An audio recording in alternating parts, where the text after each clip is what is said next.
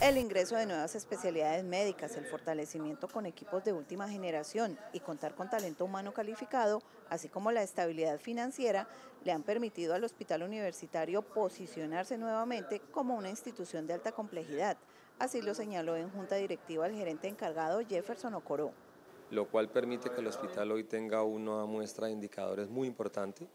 eh, situándose, digamos, como una institución viable, financieramente estable y con una proyección que le permite mantenerse en el tiempo ofertando servicios como lo ha venido haciendo hasta hoy, pero lo más importante también permitiéndole tener una base para el mejoramiento eh, en la prestación de servicios de alta complejidad como es lo que queremos hacer.